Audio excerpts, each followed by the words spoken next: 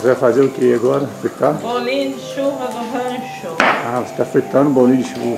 Para o nosso café da manhã. Oi. Que delícia.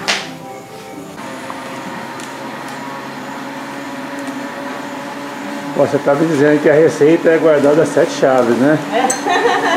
Mas o que, o que vai exatamente? Você poderia falar? Só para o é pessoal. as sete chaves. Vai ovo, óleo, açúcar, leite, cachaça, farinha e fermento. O óleo tem que estar bem quente O mesmo. óleo bem quente. Quando que você vê que tá bom aí na hora de tirar? É pela cor? A hora que põe o bolinho já Já tá tirando. rápido. E bastante óleo. Tem, tô vendo.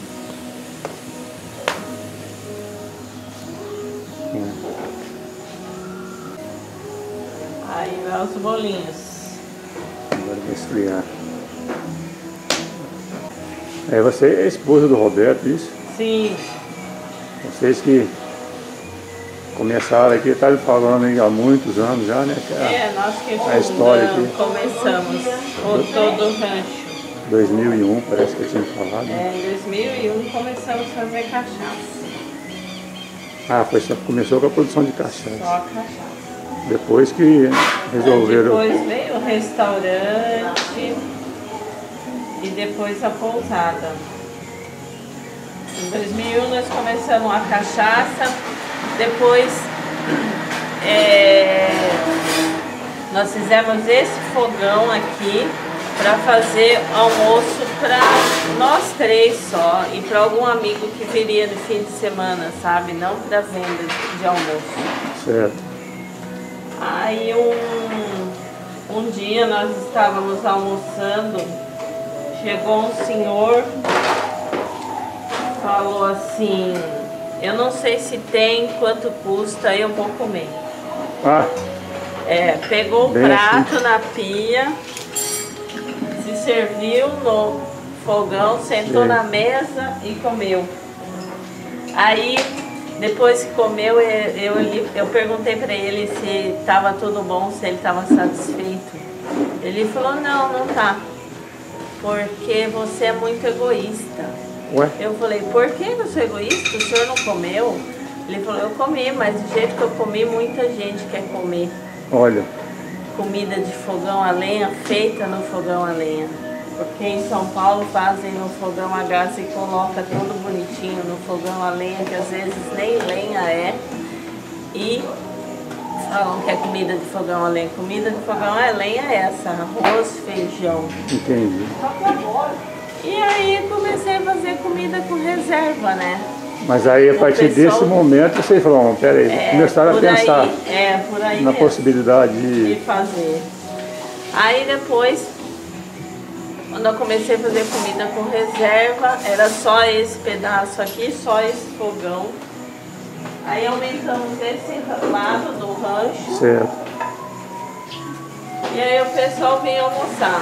Vinha almoçar e falava, ah, tem, tem lugar para comer, para beber a cachaça, a gente precisava dormir. Aí surgiu a ideia da pousada, fizemos dois quartos na pousada.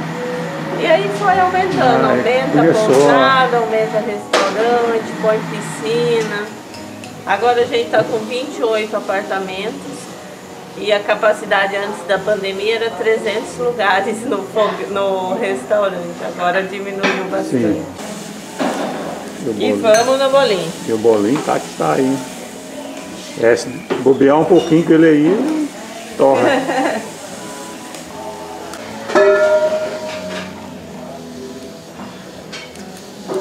Você aqui na, na pousada serviu quais refeições aqui?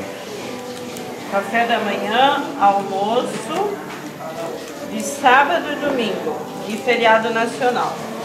E para os hóspedes são, é todos os dias, inclusive um cafezinho cortesia à tarde. Ah, Mas ah, tá. aí só para hospedados. Para quem está hospedado aqui, né? Sim.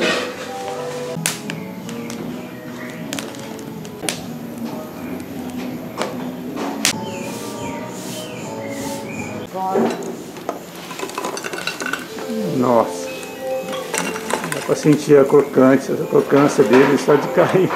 Olha que beleza. Maravilha. Agora vai pro fogão, o pessoal tomar o café da manhã. Um café muito bom pelo jeito, com certeza.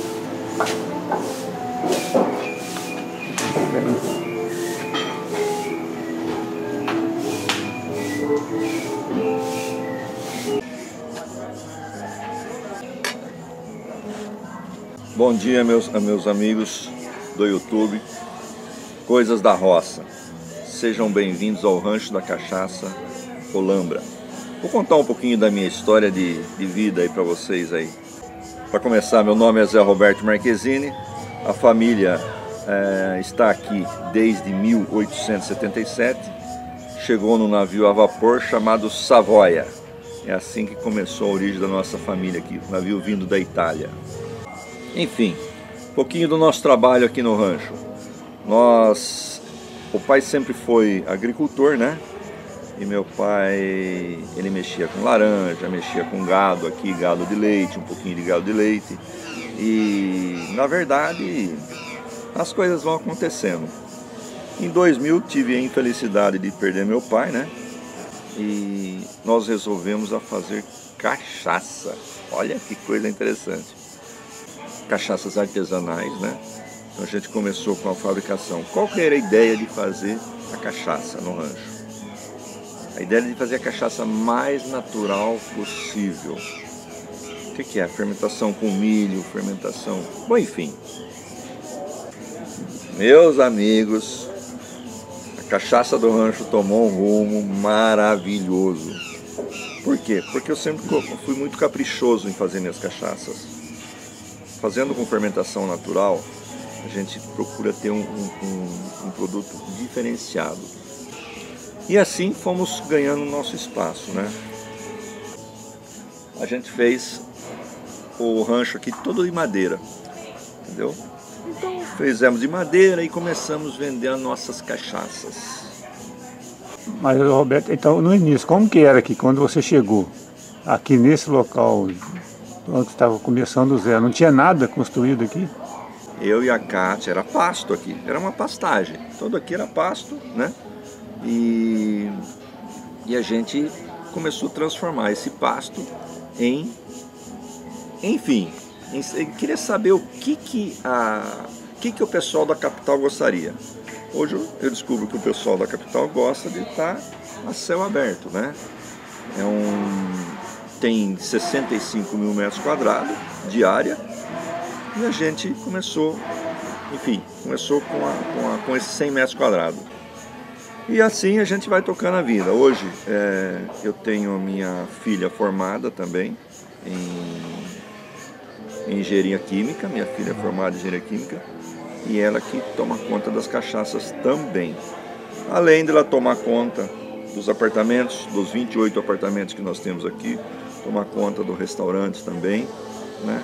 Ela cuida para nós aqui, que depende de uma cidade, de, uma, de um produtor rural ter sucesso com, a, com o turismo rural. Primeiramente, a mulher, isso fica bem claro, que é a mulher que tem que querer turismo rural, hein? E seria por que exatamente? Porque a mulher tem mais carinho, a mulher tem mais é, capricho com as coisas. Ah, entendeu? Então é Concordo. a mulher que quer. Se a mulher quiser fazer turismo rural, o homem vai junto e assim por diante. Entendeu? Esse é um, um grande trabalho. Até nós estamos, só para adiantar alguma coisa com vocês aí, nós estamos, é, o rancho, eu e, e a minha equipe, é, minha equipe que eu falo é a minha esposa e minha filha estamos é, pretendendo ampliar as cidades que queiram fazer turismo rural e fazer de coração.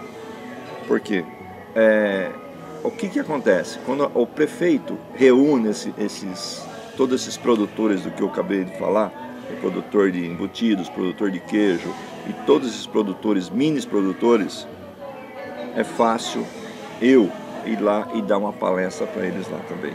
Isso eu faço de coração. Se precisarem, estou à disposição.